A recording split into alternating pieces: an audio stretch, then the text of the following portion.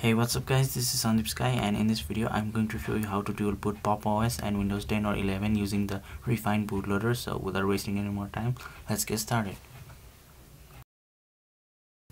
So first of all you need to download the Pop! OS ISO file from the official website and download it for your system and after that you need to go to the Rufus official hmm. website and download Rufus to make the bootable USB and after that you need to insert your pen drive which is at least 4 GB or more. And then please make a backup of your pen drive because the data will be erased. After that you need to open Rufus and select the Pop! OS ISO file. And then click on start.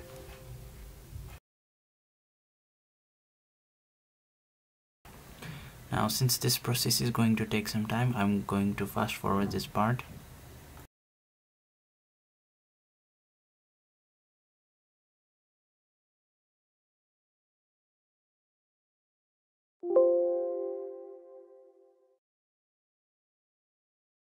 now close everything and then right click on your start menu and open disk management. And after that select the local disk with the largest volume and then right click on it and select shrink volume. Now allocate your desired free space for pop os i'm going to give it 40 gb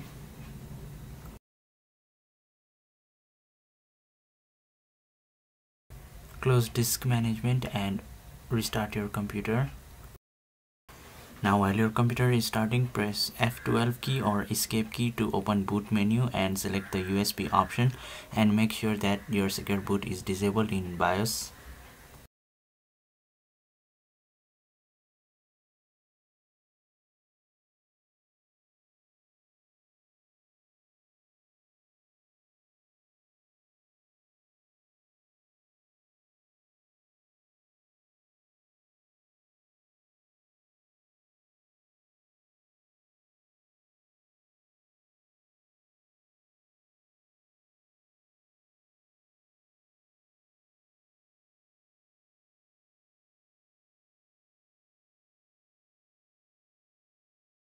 Now choose your language and your keyboard layout.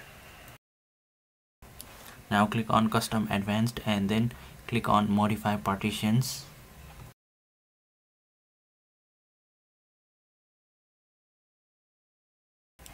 Now the installer will tell you to create 1024 MB EFI partition.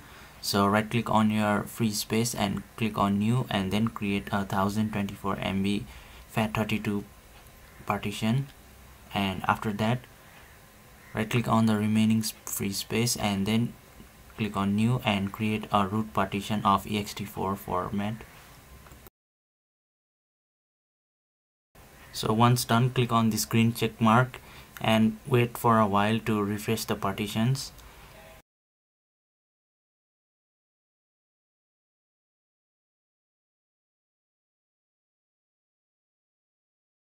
now click on this yellow partition and use this partition as slash boot slash EFI and then click on this green partition and use this partition as root which is forward slash.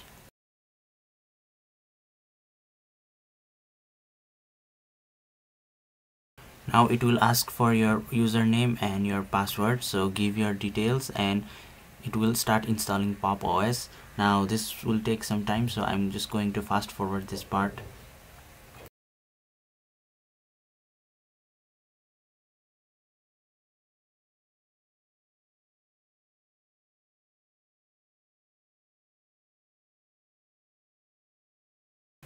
finally the installation is finished. Now you need to click on this restart device. And when you restart your device you will see that it will directly boot into pop os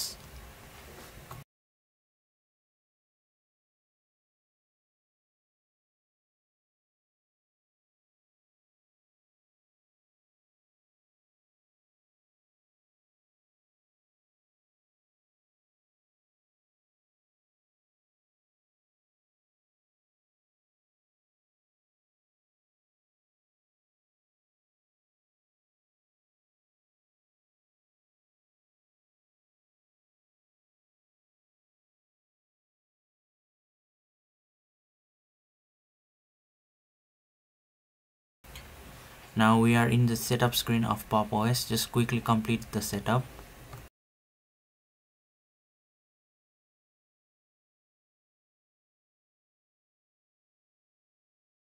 So to install the rEFInd bootloader, you need to first open your terminal and then type sudo apt update to update your repositories.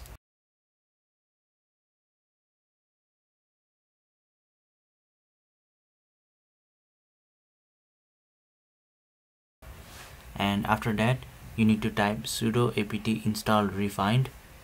And it will download and install rEFInd automatically.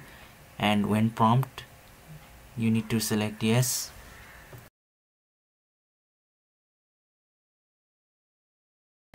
Now we are already good to go. You just need to restart your PC to see the rEFInd bootloader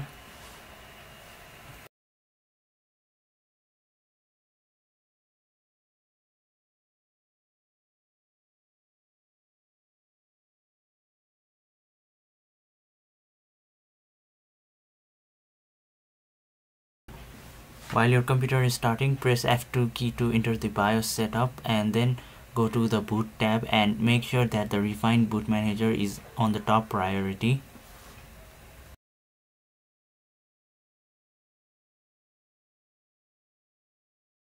Now every time you turn on your computer, you will see this beautiful rEFInd bootloader to choose between your operating system.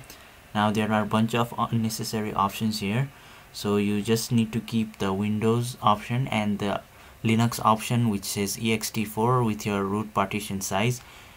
You can delete all the unnecessary options by pressing the delete key on your keyboard.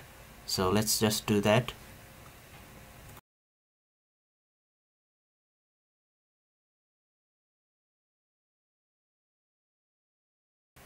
You can also look up the rEFInd bootloader documentation to apply custom themes.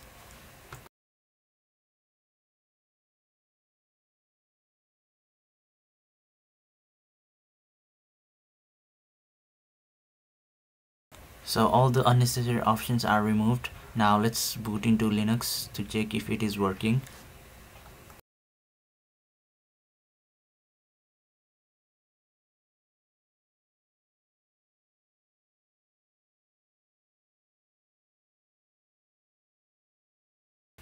So as you can see we are able to boot into the pop os now let's restart and let's try to boot into windows to see if windows is working or not